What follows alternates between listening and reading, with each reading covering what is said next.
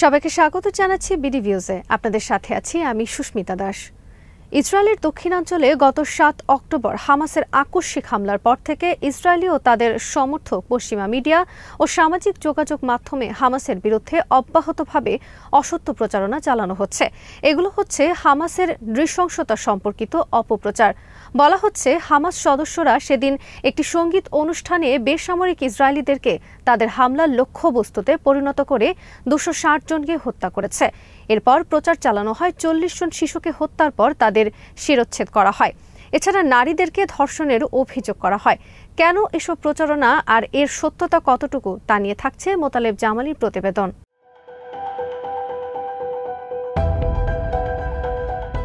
হামাসের বিরুদ্ধে পশ্চিমা মিডিয়ায় আনা অভিযোগের কোনোটিরই যে বিন্দুমাত্র সত্যতা নেই, তা ইসরায়েল সরকার ও দেশটির সেনাবাহিনীর বক্তব্য থেকে স্পষ্ট।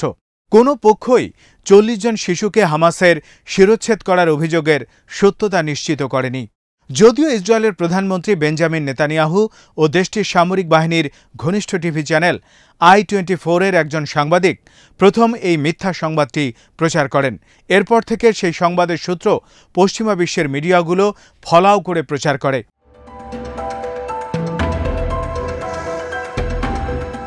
হামাসের হামলার সময় তাদের সহায়তা পাওয়া এক ইসরায়েলি নারীর সাক্ষাৎকারেই স্পষ্ট হয়ে গেছে, হামাসের বিরুদ্ধে আনা অভিযোগ অসত্য। ইসরায়েলি সংবাদ মাধ্যম চ্যানেল টুয়েলভকে দেওয়ার সাক্ষাৎকারে ওই নারী বলেছেন, আমি ও আমার সন্তান হামাসের হামলার মধ্যে পড়ে গিয়েছিলাম। কিন্তু হামাস সদস্যরা আমাদেরকে নিরাপদ স্থানে চলে যেতে সহায়তা করে। তারা সত্যিকার অর্থেই খুবই মানবিক মানুষ। পরে ইসরায়েলি কর্তৃপক্ষ ওই নারীর সাক্ষাৎকার সম্প্রচার বন্ধ করে দেয়। কিন্তু সাক্ষাৎকারের ভিডিওটি সামাজিক যোগাযোগ মাধ্যমে ছড়িয়ে পড়ার পর সেটি ভাইরাল হয়ে যায়।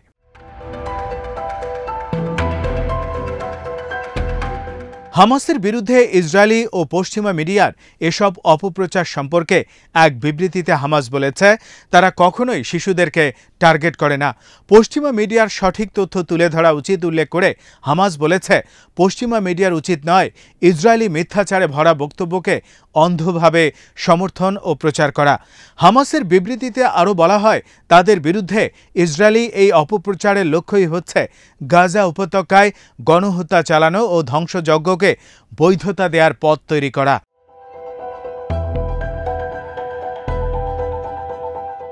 সাত অক্টোবর ভোরে হামাসের হামলার পর চল্লিশ ইসরায়েলি শিশুকে শিরোচ্ছেদ করার খবরটি প্রথম প্রচার করে Israeli news channel I twenty চ্যানেলটির লোকবলের অধিকাংশই সাবেক সেনা কর্মকর্তা। প্রতিষ্ঠানটির এক নারী রিপোর্টার নিকোল জেডেক দশ অক্টোবর সকালে তার সামাজিক যোগাযোগ মাধ্যম এক্সে দেয়া এক পোস্টে প্রথমবারের মতো অভিযোগ করেন, হামাসের আল কাসাম ব্রিগেড সাত অক্টোবর সকালে হামলার সময় শিশুদের শিরোচ্ছেদ করেছে। তিনি জানান, হামাসের হামলার পর ঘটনাস্থলে যাওয়া সেনা সদস্যরা তাকে জানিয়েছেন, তাদের ধারণা, অন্তত চল্লিশ শিশুকে শিরোচ্ছেদ করা হয়েছে।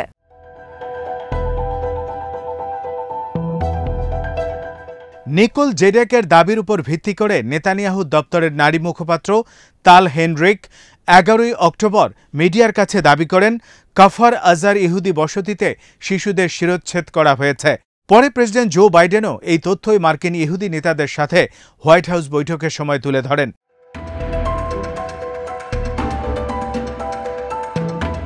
দশই অক্টোবর অন্তত ডজন খানেক ব্রিটিশ সংবাদ মাধ্যম নিকোল জেডেকের এই খবরটির সূত্র হিসেবে ইসরায়েলি মিডিয়া আই টোয়েন্টি ফোরের বরাত দিয়ে প্রচার ও প্রকাশ করে।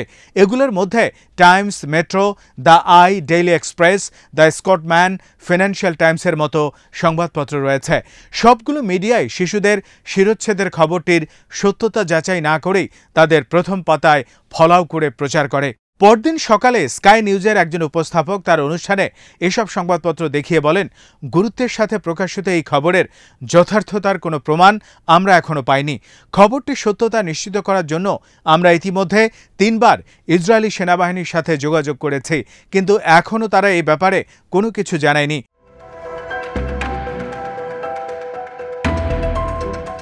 নিকুল জেডেক এই সংবাদ প্রচারের কয়েক ঘণ্টা পরে তুরস্কের সংবাদ মাধ্যম আনাদুলু নিউজ এজেন্সিকে টেলিফোনে ইসরায়েলি সামরিক বাহিনীর সাথে যোগাযোগ করে এই খবরের সত্যতা জানায়। পরে সংশ্লিষ্ট সেনা ইউনিটের মুখপাত্র আনাদুলুকে বলেন, আমরা খবরটি দেখেছি, কিন্তু এ ব্যাপারে আমাদের কাছে বিস্তারিত কোনো তথ্য নেই এবং বিষয়টি আমরা নিশ্চিত করতে পারছি না।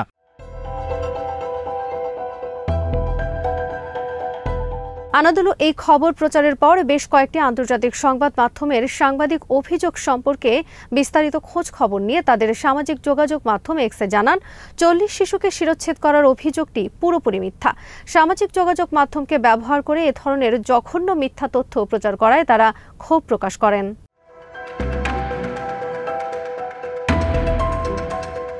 জেরুজালেম ভিত্তিক ফরাসি সাংবাদিক স্যামুয়েল ফোরে তার এক্স অ্যাকাউন্টে দেয়া এক পোস্টে বলেছেন, দশই অক্টোবর তিনি উত্তর পূর্ব গাজা থেকে দুই কিলোমিটার দূরে কাফর আজা ইহুদি বসতি ছিলেন। সেখানে একজন মানুষও তাকে বলেননি, হামাস শিশুদের শিরোচ্ছেদ করার মতো কোনো ঘটনা ঘটিয়েছে। বিষয়টি নিয়ে আমি স্থানীয় জরুরি সেবা প্রদানকারী দুটি সংস্থার লোকদের সাথে কথা বলে অভিযোগের সত্যতা যাচাই করার চেষ্টা করেছি। সংস্থা দুটো হামাসের হামলায় নিহতদের লাশ সংগ্রহ করেছে সৎকারের জন্য। কিন্তু তারা নিশ্চিত করে জানিয়েছেন, গলা কেটে বা শিরোচ্ছেদ করে হত্যা করা কোনো লাশের সন্ধান তারা পাননি।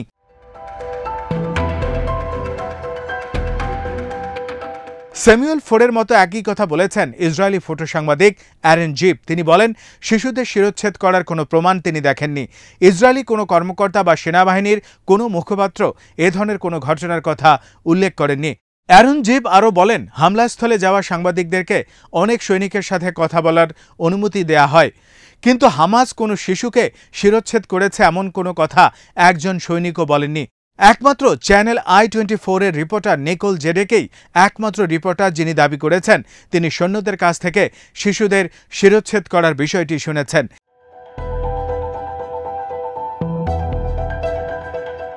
CNN reporter Sara Sidner Israel সরকারের দেয়া এই অসত্য খবরটি সম্প্রচার ও পরবর্তীতে তার এই রিপোর্টের পক্ষে দৃঢ় অবস্থান নেয়ার জন্য ক্ষমা প্রার্থনা করেছেন।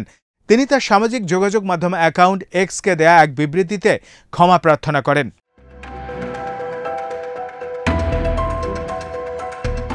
সিএনএনের সারা সিডনার বলেছেন, গত বুধবার আমি যখন হামাসের সাত অক্টোবরের হামলার ঘটনা নিয়ে রিপোর্ট করতে লাইভে ছিলাম, তখন ইসরায়েলি প্রধানমন্ত্রীর অফিস থেকে এ তথ্য জানানো হয়। আমাকে জানানো হয়, হামলাকালে হামাস যোদ্ধারা শিশুদের হত্যার পর তাদের শিরোচ্ছেদ করেছে। আমি সেভাবেই এ কথাটি আমার প্রতিবেদনে তুলে ধরি। কিন্তু পরের দিন ইসরায়েলি প্রধানমন্ত্রীর অফিস থেকে বলা হয়েছে যে, চল্লিশ শিশুকে হামাসের শিরোচ্ছেদ করার বিষয়টি যে সঠিক তা তারা নিশ্চিত করে বলতে পারছেন না।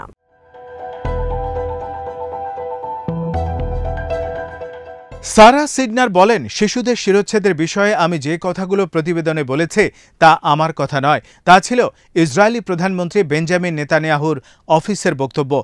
আমি আমার ওই প্রতিবেদনে এ কথাও বলেছি, শিশুদের শিরোচ্ছেদের কথা হামাস অস্বীকার করেছে। তিনি আরও বলেন, এই রিপোর্ট সম্পর্কে আমার আরও সতর্ক হওয়া উচিত ছিল।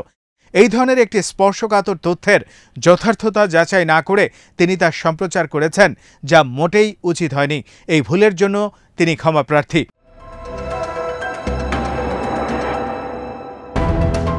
মার্কিন প্রেসিডেন্ট জো বাইডেনও নেতানিয়াহুর অফিসের বক্তব্য অনুযায়ী হোয়াইট হাউসে তার দপ্তরে যুক্তরাষ্ট্রের ইহুদি নেতাদের সাক্ষাৎকালে শিশুদের শিরোচ্ছেদের কথাটি বলেছিলেন। পরে তিনি ওই বক্তব্য থেকে সরে আসেন। বাইডেন বলেন, চল্লিশ শিশুকে শিরোচ্ছেদ করার বিষয়ে নিশ্চিত কোনো তথ্য তিনি পাননি।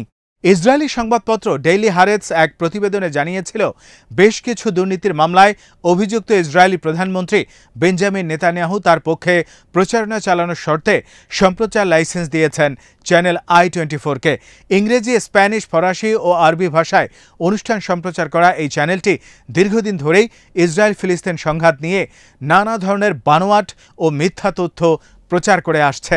প্রধানমন্ত্রী নেতানিয়াহু ও ইসরায়েলি সামরিক বাহিনীর সঙ্গে চ্যানেলটির গভীর সম্পর্ক রয়েছে বলে হারেৎসের প্রতিবেদনে উল্লেখ করা হয়।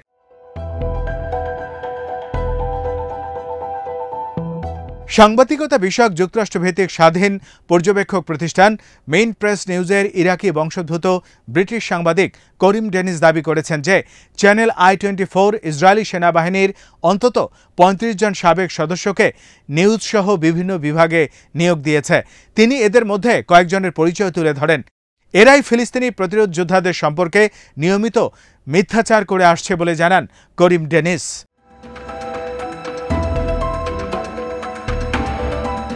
আজ এখানেই শেষ করছি। সবাই ভালো থাকুন, সুস্থ থাকুন, আর দেখতে থাকুন বিডি ভিউজ চ্যানেলটি ভালো লাগলে সাবস্ক্রাইব করুন। সংযুক্ত থাকুন আমাদের ফেসবুক পেজে